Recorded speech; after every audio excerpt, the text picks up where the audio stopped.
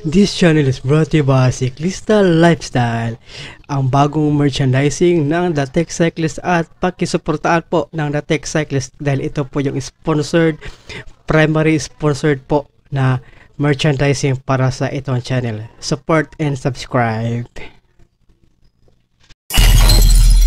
What's up mga kasyklista ngayon po? Sa panibagong vlogs po ngayon. So, the other day ay ano, uh, nag-bike ride po ako. So, dalawang dalawa pong bike ride po 'yun. So, ngayon po ay gagawa naman po ako ng uh, ng ano, ng kaibahan po dito sa akin channel. So, as you know, 'di ba, the Tech Cyclist po 'yung channel ko at saka at saka mahilig po ako sa pag, pag, pagbabike at saka mahilig din po ako sa mga techs and gadgets. So ngayon po ay ibabahagi ko po sa inyo yung aking yung ang yung pong aking uh, tech tech EDC po, techs and gadgets EDC po para sa aking mga para sa aking bike rides. So so ano po yung dinadala ko?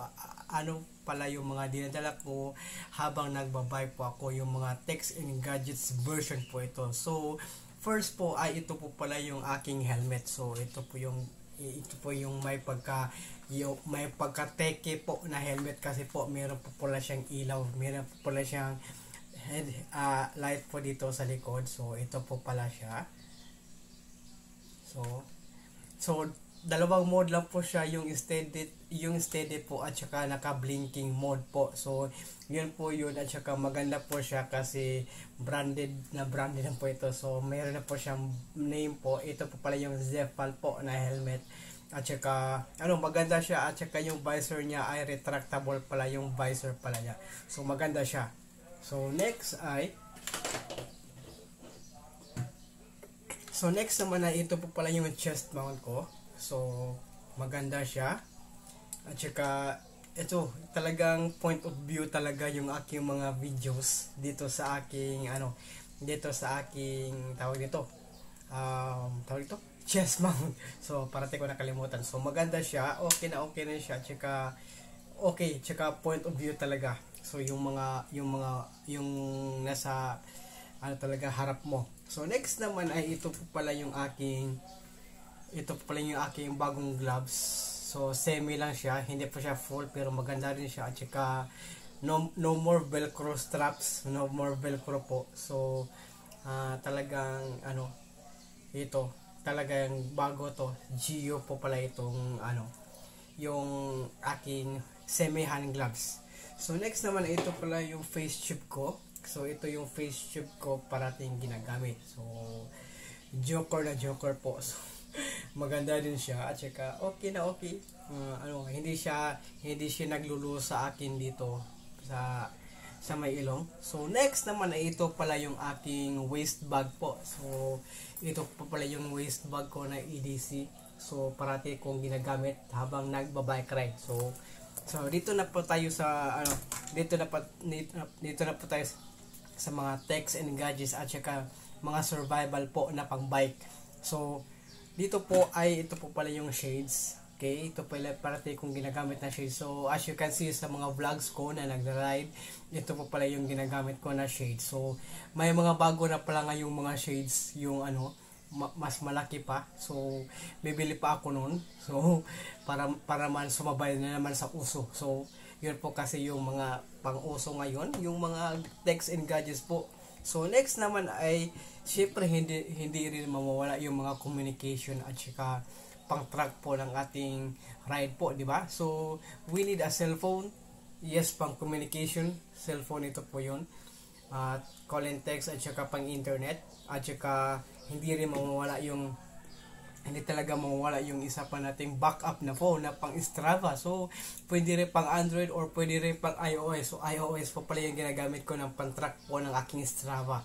So, ito po pala yung ginagamit ko na pang vlog ko ay ito po pala yung Samsung ko na parati kong ginagamit. So, ngayon, ginagawa ko na yung itong pang vlogging po itong ating Samsung, isang pang Samsung. So, itong Samsung na ito ay ito pala yung pang communication ko, yung pang, ano tawag dito, uh, call po at saka ito po yung isang Samsung ko ay ginagawa ko ng pang vlogging po so Uh, as you can see po, malinaw manila na po yung mga vlog ko kasi ginagamit ko at saka minsan ginagamit ko rin yung aking action camera po pang vlogging. So, pang rides ko po pala yung mga pang rides ko pala yung mga aking action camera at ito naman yung Samsung ko ay ito po yung pang vlogging ko. So, next naman ay dito tayo kung mahilig kung mahilig ka sa music. So, hindi talaga mawala sa pagbibisikleta ang pag, pagkikinig ng mga music. So, meron po ako ditong Samsung po na AKG po na wired wired earphones po. So, maganda siya, napakalakas, pero hindi mo hindi mo siya gagamitin sa pangmalakas po na boses kasi hindi hindi mo na maririnig ang mga bumubusena sa likod mo. Yung mga sakyanan sa likod mo. So, better use a wireless earbuds. So, ito po pala. Wireless earbuds po na Samsung Galaxy Buds Plus. So, uh, gumagamit po ako nito isang tenga lang. So, dito sa right. So, yung left left ko na left na tenga ko ay ginagamit ko ito para marinig ko yung mga sasakyan na nagbubusena sa akin para iwas din po disgrasya. So yun po yung yun po yung advantages po and disadvantages disadvantages po. So gagawa po ako ng video niyan. So next naman ay ito pa pala yung aking tawag dito. Uh, di- digital camera na point and shoot. So hindi po ito DSLR.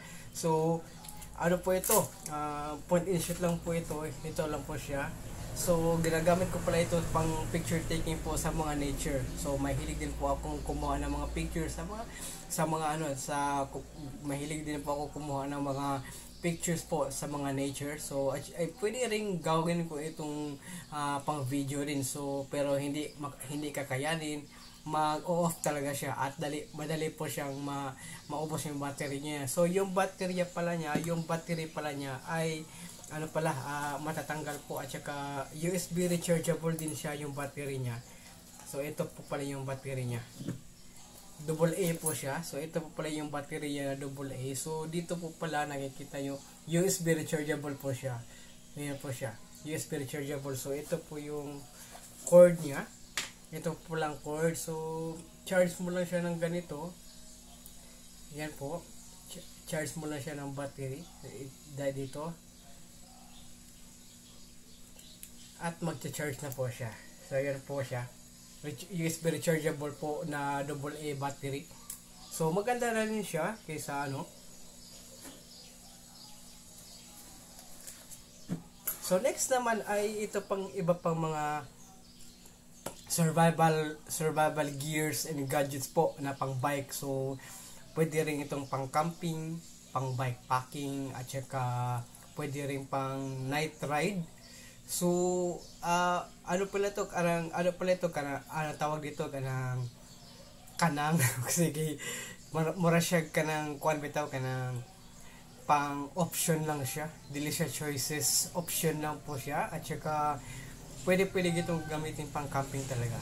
At saka yung bike packing. So, una-una po ay, meron po ako ditong, meron po ako ditong compass. So, ito pala yung compass. Okay, okay na okay din siya okay din siya para paano kung maliligaw ka sa iyong pinanggalingan kung nasaan ka. So, pwede pwede itong gamitin compass pang alternate. At saka meron din ako ditong USB rechargeable na na ano na lighter po. So, ayos na ayos po siya. Ito po siya. Macha-charge po siya. So, ito po pala yung harap niya. Okay, umiilaw siya. So, ibig sabihin po, fully charged pa rin siya at saka nakapag hmm. So okay, na nakapag-charge pa rin siya ng ano, nakapag-charge oh, nakapag-ilap po siya ng mga ano, kandila or sigarilyo yosi po. So hindi po ako nag-yosi. So ang gamit ko lang nito ay pang ilaw po ng mga kandila. At saka pang ano pang pangluto di ba? Pwede pwede din pang pangluto. So alternate po sa posporo po yung matches pero uh, may pagka allergic po ako sa mga posporo or matches po. Okay. So kaya ito yung ginagamit ko para iwas ano yung masamang masamang usok po ng posporo po or matches. So so ito po yung aking knife po pang EDC knife po ito na EDC knife po ito pwede po ito pwede, pwede rito pang unboxing knife. So habang nag-unbox ka ng mga nag-unbox ka ng mga ano na box sa vlog sa mga vlogs mo so ito po yung ginagamit. So ito po yung ito po yung, ito po rin yung ginagamit ko. So EDC EDC po panghiwa po ng mga prutas. Pwede rin panghiwa ng prutas panghihiwa ng ano uh, kahit ano. So nagpuputol ka ng mga kahit ano. So ito gamit gamit po ito sa mga pang bushcraft po na mga bushcraft po na mga ano uh, camping. So nagluluto ka. So habang nagluluto ka, hihiwa mo ito sa mga ano, uh, pwede, pwede po ito sa mga vegetables po like carrots, cucumber, uh, iba pa. So, ganun po. Ito po yung gamit niya. Multi-use po itong EDC knife na ito. At saka meron din ako nito EDC bracelet po, paracord. Paracord bracelet po ito, 5 in 1. So meron po din ditong compass. Meron po siyang compass. Meron siyang maliit na kutsilyo dito. Yun po siya. At saka meron din ditong meron ditong whistle po. So, paano daw? Okay. Ganyan no? Magana siya. Hmm, okay. At saka dito naman ay meron din pala ditong fire starter. So meron tong fire starter dito. So pang ano mo ng ano apoy para makapag-start ka ng apoy habang nagluluto ka sa pa yung sa iyong mga bushcraft po ng mga bike packing habang nag pang pangluluto po yan. So ito po naman for emergency use po naman ito. Ito po pala yung aking headlamp po, headlight. So lagay ko dito. So meron akong mga meron meron ako mga review dito, meron ako mga mga vlogs nito. Ito po siya. Okay, daayos. Okay, maganda siya. Kasi nakalimutan ko pala ito po palang paracord na ito. Ay pwede mo siyang gamitin pangluto, pang start po ng apoy. Ito po palang paracord na ito. So ito po pala yung gamit niya. Maganda maganda po siya. At saka ano, um, at saka uh, starter na ito tanggal ko ulit yung fire starter niya itong fire starter pala niya ay dito dito siya eh, ano sa kutsilyo para mag ano mag ano siya mag start po ng apoy tapos magtatanggal ka nitong itong paracord na ito para makapag-start ka ng apoy at makapagluto ka. So, yun po yung purpose nito. Itong ano, yun po pala ang purpose niya.